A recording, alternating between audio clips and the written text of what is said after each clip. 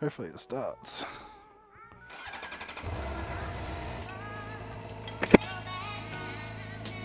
Off the go-karting. Oh, they nearly finished building this bridge. They're gonna um, free up some traffic by making it pass over, but in the meantime it's a freaking nightmare trying to get out of here, especially in the mornings. People get confused by all this.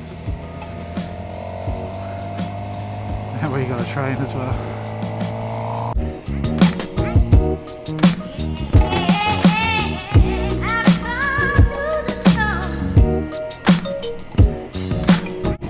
Thought about coming here to fly as well because there's nothing happening.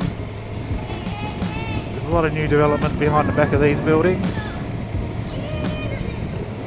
There's um, some new stand-up buildings with no doors, so that means uh, shooting some gates, shooting some gaps